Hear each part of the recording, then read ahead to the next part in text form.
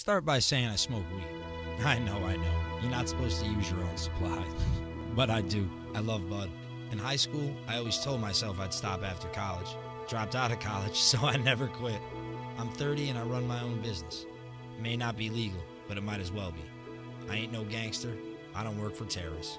I'm just a dude that sells fucking killer bud. You think you've had good shit before? Then you ain't ever had mine. My name is Curtis Greenberg. People just call me Greeny. There's so many different sides that need to be considered for the legalization of marijuana, but instead, just got pig-headed politicians feeding the country lies. I ain't gonna complain though. It's how I make my money. If that shit was legal, I doubt I'd own a fucking dispensary. Think about it. Weed versus booze. We all know that weed ain't nothing in comparison to hooch. We heard every story about it, every comparison imaginable. Weed is a pacifist fucking drug. And let me tell you from experience, you don't really want to go out and beat your wife when you're high. Sure, I sell bags to all sorts of clients gangsters, murderers, rapists, whatever.